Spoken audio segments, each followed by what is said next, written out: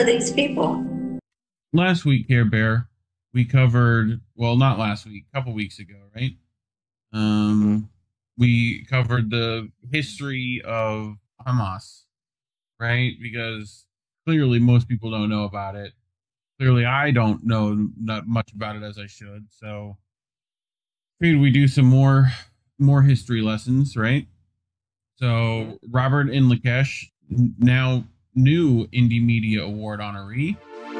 Um, so yeah, by the way, know, watch uh so Indie and Reef uh released this new class uh of honorees uh at the Indie Yep. Media Awards that they premiered on Sunday, so definitely check that out.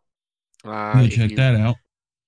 um, and clips from that stream will be forthcoming. But uh, Robert has, I think, definitely we've featured a lot of his articles over the past year, so I think he's definitely well deserving. And I think when we talked about it, like he was immediately like, yes.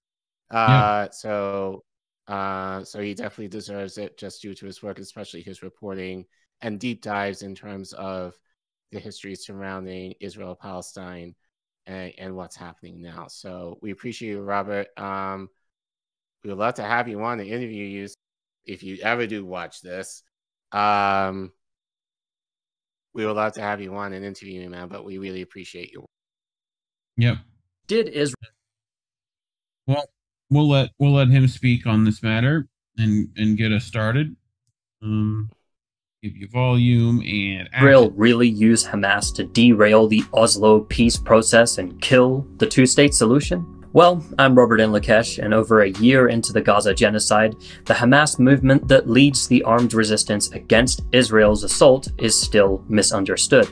In light of media mischaracterizations, we continue to see Hamas compared to ISIS, blamed for Israel's actions, and there are those who even say Israel created and continues to control the group. A few weeks ago, we published part one of this video series where I explained the origins of Hamas, separating fact from fiction, regarding the funding of the group, its historical climate, and how it emerged as the most popular Islamic party in Palestine.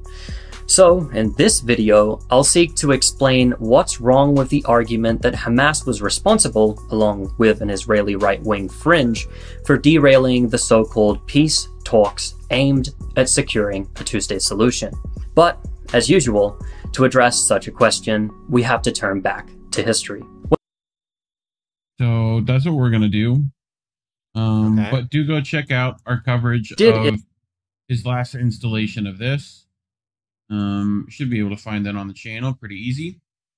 But he writes when the Declaration of Principles was signed between the Palestinian Liberation Organization and Israel in September 1993. Um, I was like, I was born in March, Collin, that year, so Mm. that that I would have been like a couple months, you know. It marked Right. the end of the first Intifada. The mass Palestinian uprising brought Hamas to prominence as a political force. Many viewed the Oslo Accords as a beacon of hope, a chance for peace in the West Bank and Gaza Strip. However, the path to failure had been set long before Hamas became a significant factor. To understand why Oslo ultimately failed, we must rewind to 1974, when PLO chairman Yasser Arafat addressed the UN, famously offering peace while upholding the right to armed struggle. This followed the PLO's issuance of a 10 point plan, which many saw as paving the way for dialogue with Israel.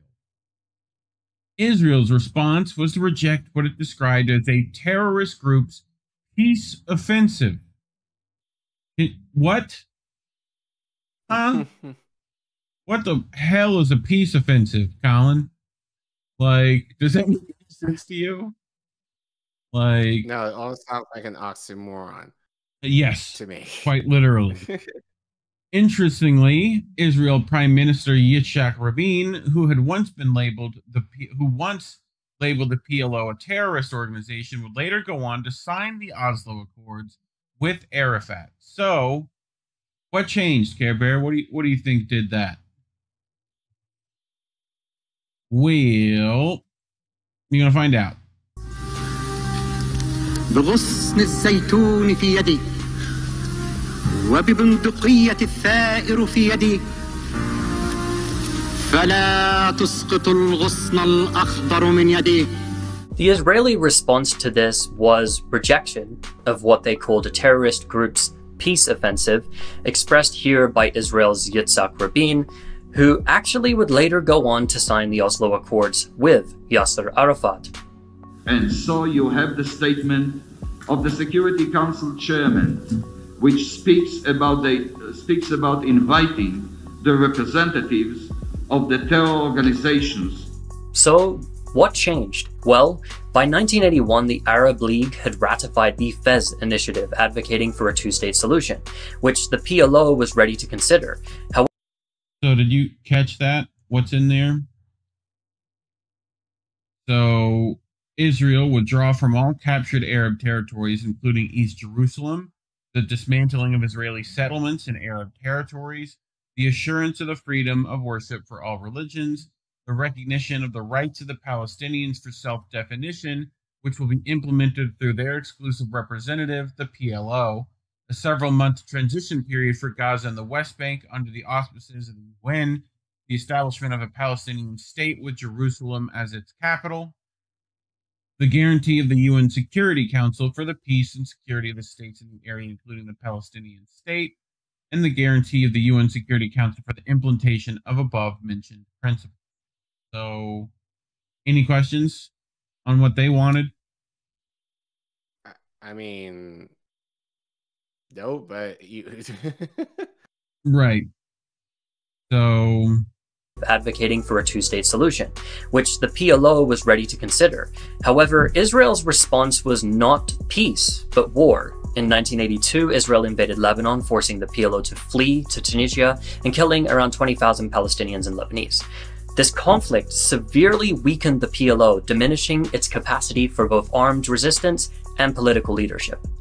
As the Palestinian Intifada erupted in the late 1980s, the PLO struggled to take control of the uprising that was led locally inside the occupied territories. During the Intifada, the PLO also lost one of its biggest financial backers, Kuwait, after the PLO sided with Iraqi President Saddam Hussein during the First Gulf War.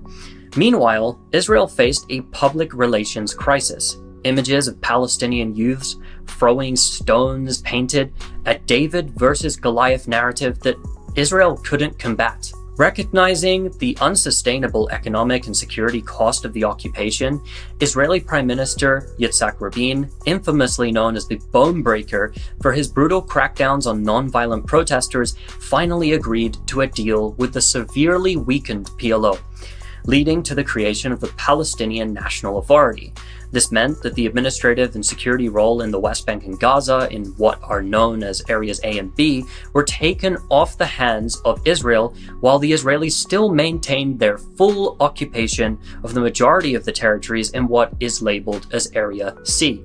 Better yet, the Palestinian Authority was funded by the US and EU, making Israel's occupation cost free and enabling them to allocate their military resources elsewhere. Hamas, which had emerged during the Intifada, rejected the Oslo Accords along with other Palestinian factions. In 1995, following the massacre of Palestinians at the Ibrahimi Mosque in the West Bank by an Israeli extremist, Hamas carried out a series of suicide bombings. Wow. Collin, Israeli extremists. You ever hear about them? Mm-hmm.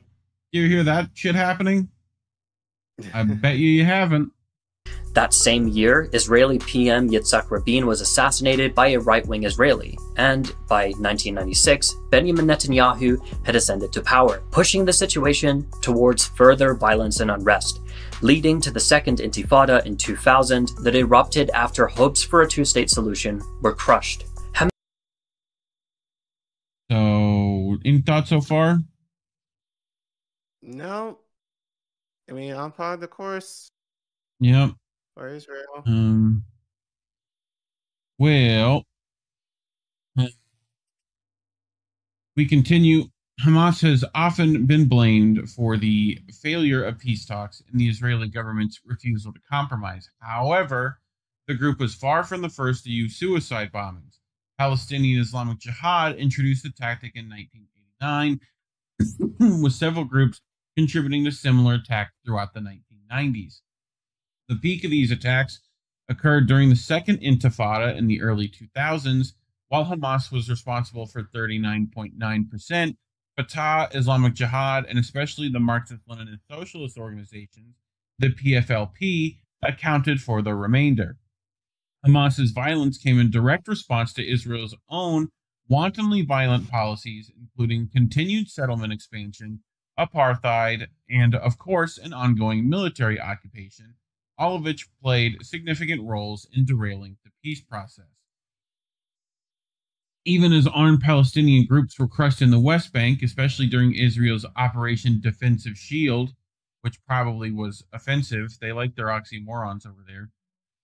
Um, Hamas's resilience in Gaza compelled Israel to rethink its approach. By 2005, Israel withdrew from Gaza, but not before securing control over the West Bank, restructuring and repurposing the Palestinian Authority security forces to ensure their coordination with Israeli occupation forces right?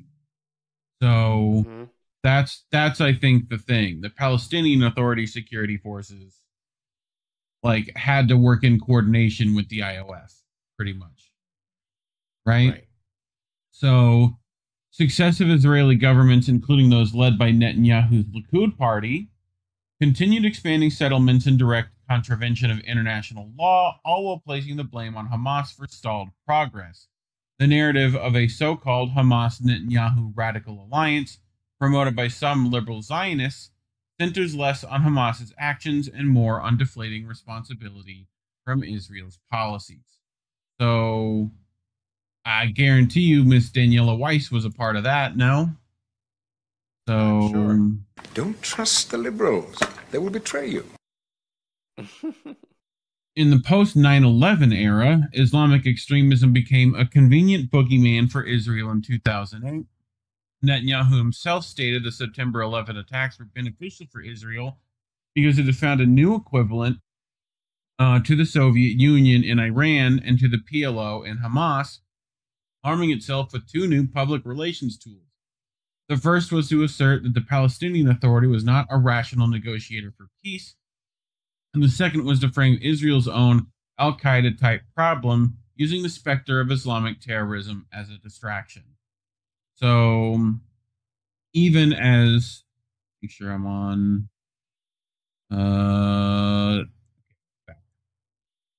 there we go. Borrowing from the battle tested strategy of the post 9 11 Bush administration, today Netanyahu claims that October 7th was Israel's September 11th.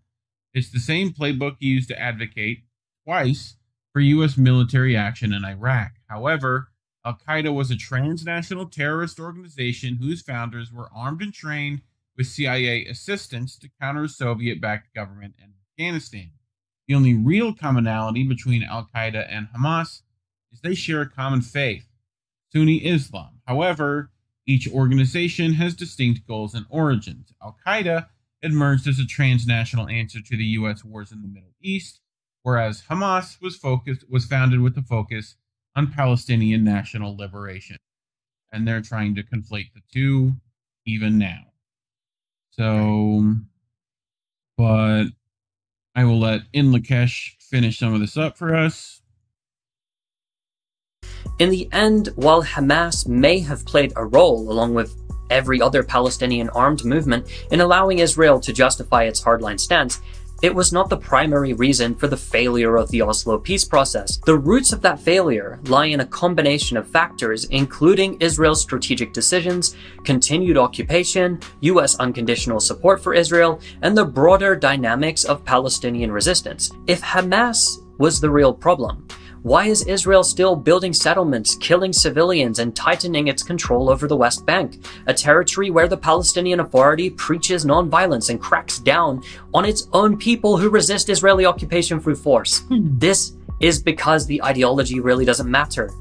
It is the fact that Palestinians are using armed resistance against the expansion of a settler colonial project on their land, as Palestinians have been doing since the Arab Revolt of 1936 and even before that. In fact, every major Palestinian political party whether they be secular nationalists, Marxists, or Islamists, are considered to be terrorist groups by Israel, with the current exception of the mainstream branch of Fatah, which rules the Palestinian Authority. Yet prior to the Oslo Accords, Fatah was the primary group they blamed for a lack of peace.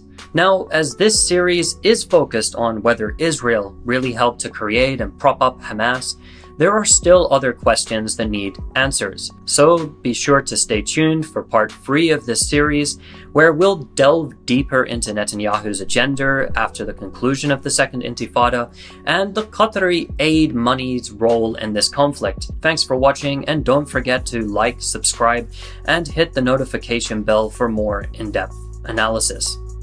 Yeah. Do what he said. Um closing thoughts, Care Bear? Uh yeah, I did, but it's, it's sorry, it escaped me for a second. Um, but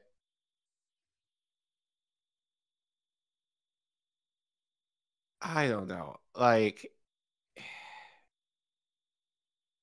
it, how can I say this so we don't get kicked off? um,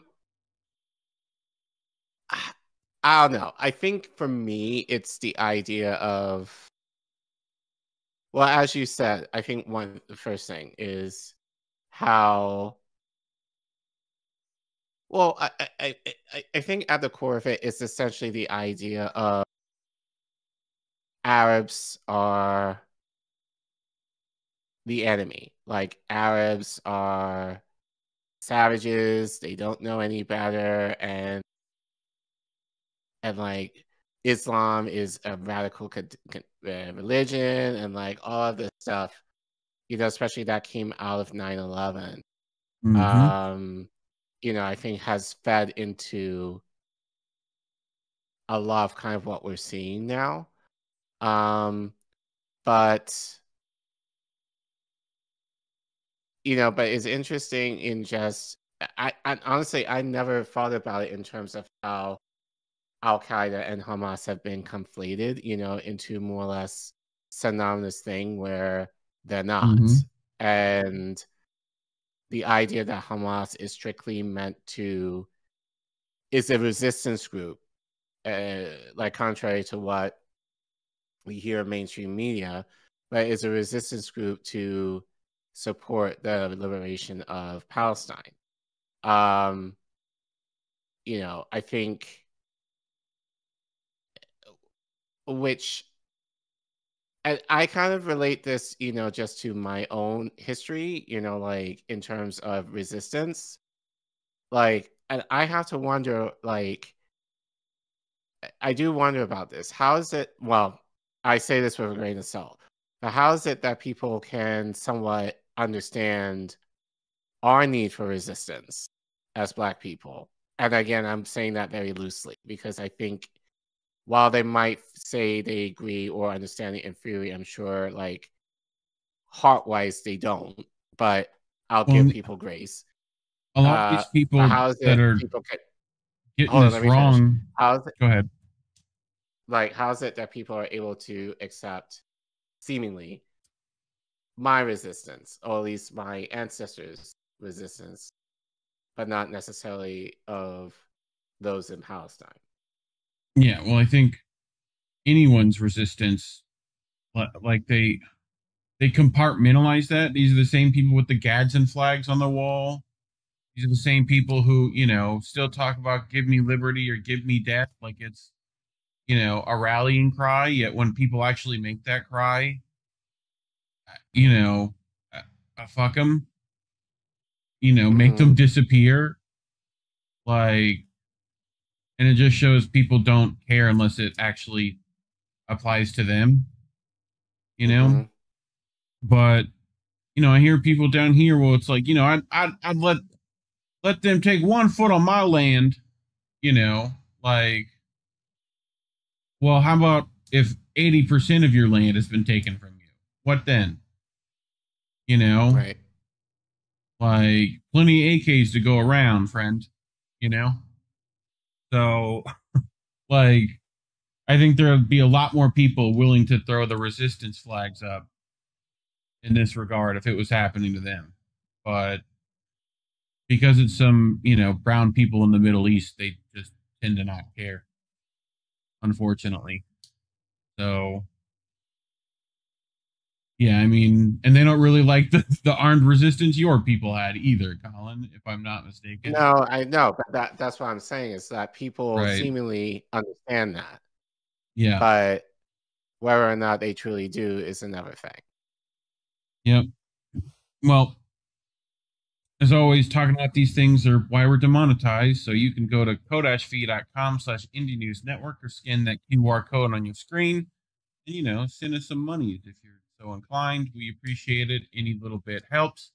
But if you can't do that, you know, don't forget to like and subscribe if you aren't already. You know, hit that share button, send us to your friends, your families, your pets, see if they are able to read. I don't know. Uh, You know, like you might have the thing set up for the kiddies to watch, but make sure to leave a comment. Let us know what you thought. We do actually read them and help INN get to 3K. Otherwise, thanks for watching.